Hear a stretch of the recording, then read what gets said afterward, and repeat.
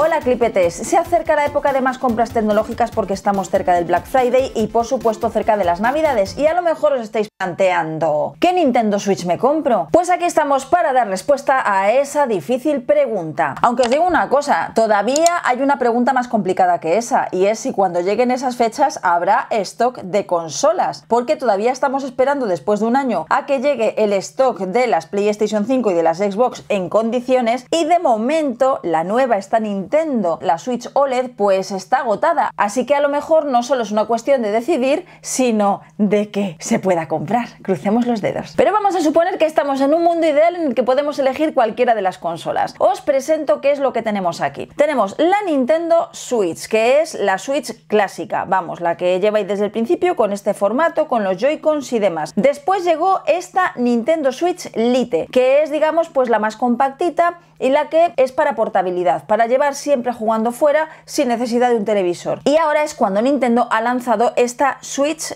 OLED, que es una evolución de esta, sobre todo en la parte de visualización, en la parte de pantalla. Switch OLED, de la que por cierto tenemos el unboxing y también tenemos las primeras impresiones para que podáis echarle un vistazo. Podríamos decir que las Nintendo Switch tienen como dos grandes grupos. La consola, que es multipropósito, es decir, que podemos utilizar en diversos eh, momentos y posiciones, como puede ser esta que es la Nintendo Switch, y luego tenemos la Lite, que es la consola absolutamente portátil que no podemos conectar a la tele. Estas dos de aquí disponen de esta base, una base en la que colocar la consola. Iría tal que así y chimpún. De esta manera lo que obtendríamos sería el modo televisor. Por la parte de atrás tenemos una serie de conexiones que hacen que podamos conectarla a la tele y jugar ahí. Una vez que la conectásemos a la tele podríamos poner los mandos, estos Joy-Cons en el adaptador y jugar como si fuese un mando clásico. Y los Joy-Cons además también se pueden utilizar de forma independiente o bien para que jueguen varias personas o bien para utilizarlos en distintos modos deportivos como por ejemplo boxeo y va reconociendo el movimiento. Además del modo tele, en estas dos tenemos el modo sobremesa. ¿Cómo funciona? Bueno, pues lo que hacemos es sacar la consola y gracias a una patita que en el OLED es más grande que en la normal y bastante más cómoda, pues lo que hacemos es utilizar la pantalla como una pantalla accesoria, sacar los Joy-Cons, así que luego ya podemos jugar pues nosotros solos o en compañía. No necesitamos en este caso la base, con lo cual también podemos utilizarla de viaje o cuando estamos en casa de un amigo. Y hay un tercer modo que es el modo portátil que comparten la Switch,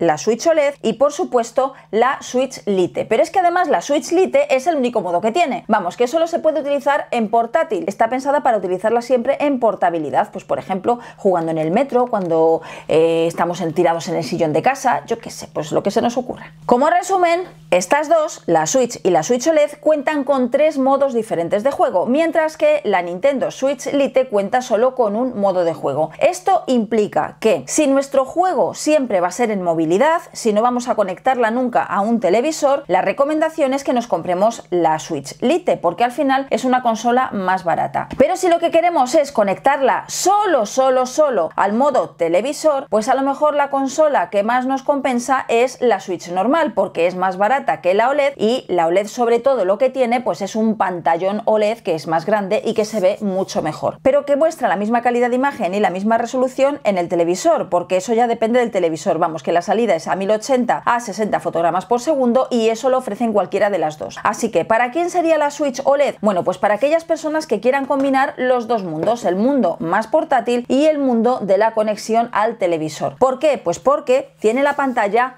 más grande. Nos encontramos con una pantalla de 7 pulgadas de diagonal de tecnología OLED, que es una pantalla que se ve mucho mejor. Precisamente por la tecnología de la pantalla, pues tenemos menos salto entre el cristal y el panel, además el marco es muchísimo más pequeño, con lo cual tenemos pues en el mismo tamaño de consola y prácticamente en el mismo peso, pues mucha más pantalla para poder jugar y jugar más cómodamente. A esto hay que añadir que la Switch normal tiene una pantalla de 6,2 pulgadas, pero la Lite tiene una pantalla de 5,5 pulgadas, que la verdad es que para utilizar en portabilidad es eh, súper cómoda. Hombre, a más pantalla mucho mejor, pero claro, el tamaño de las dos consolas al final cuenta. No es lo mismo acarrear todo el día esta consola con su peso y con su tamaño que llevar esta que nos cabe prácticamente en cualquier sitio. A nosotros lo que nos hubiese gustado es que hubiesen sacado una versión OLED de la Nintendo Switch Lite, que es además donde pues eh, más sentido tiene. Es verdad que la tecnología OLED puede encarecer un poco el producto, pero al final la visualización de la pantalla para una consola portátil que estamos siempre mirando en este tamaño de pantalla, pues eh, hombre, sería mejor por tamaño y por calidad. Además, si estas dos van a convivir, ¿por qué no iba a convivir una Switch Lite con una Switch Lite OLED? Tampoco lo descartamos, ¿eh? No va a ser ni hoy ni mañana, pero quién sabe. Otra cosa a tener en cuenta es quién la va a utilizar. Bueno, mejor dicho, cuántas personas la van a utilizar. Porque si compramos una consola para una sola persona, pues podemos elegir cualquiera de ellas. Pero si la queremos para varias personas, entonces tenemos que comprar una Switch eh, normal o la Switch OLED porque nos permite, sin hacer ningún tipo de gasto extra, pues jugar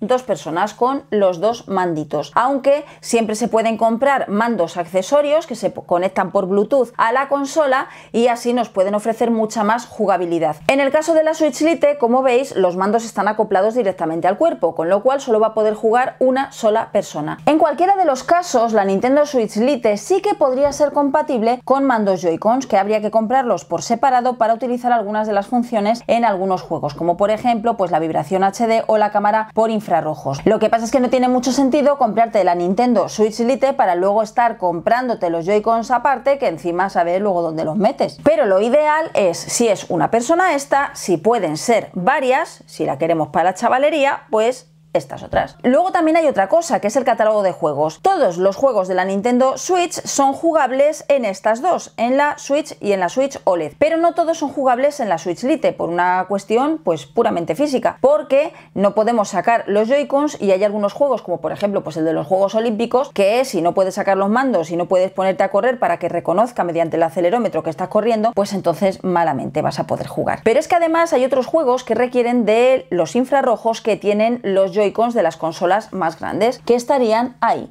en la parte inferior. Además, estas dos consolas, tanto la Switch como la Switch OLED, disponen de vibración HD. En el caso de la Switch Lite no es que no vibre, pero digamos que es una vibración más normal. Ahora vamos a tener otro supuesto, el de una persona que le encante jugar en línea. Pues esta, la Switch OLED, es la única que tiene una conexión Ethernet en la base.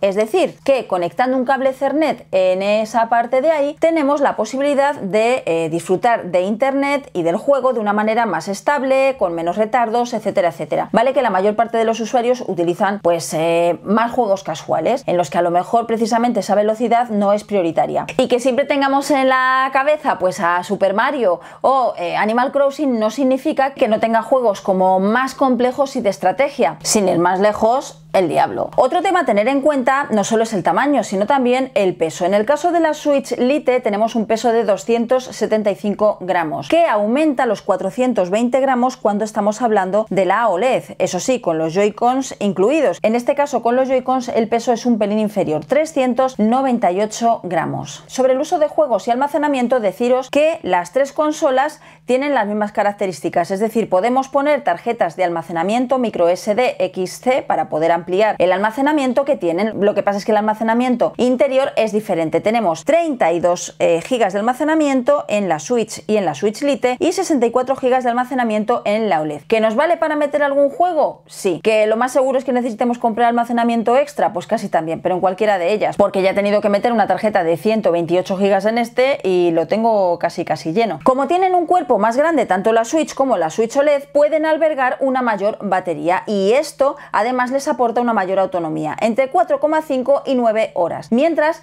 que la Nintendo Switch Lite nos ofrece una autonomía de como mucho 7 horas. Esto por supuesto depende mucho del tipo de juego que estemos utilizando. Y ya por último, pues solo comentaros que si queremos ir super fashions de la muerte, pues la Switch Lite es la que más colorines tiene, que tiene el color púrpura, color amarillo, color azul, color coral, vamos, que es la más mona, pues para poder llevar siempre encima. Y los precios, el precio de la Nintendo Switch Lite es de 200 220 euros. El de la Nintendo Switch normal es de 300 euros y 350 euros para la Switch OLED. Así que en vista de esto, así como resumen, pues comentaros que si va a ser todo movilidad, la Nintendo Switch Lite, que va a ser siempre televisor, la Nintendo Switch. Y si vamos a mezclar ambos mundos, yo creo que merece mucho la pena gastarse esos 50 eurillos más en la Nintendo Switch OLED. Así que hasta aquí esta comparativa de las Nintendo Switch. Nos vemos en el siguiente video.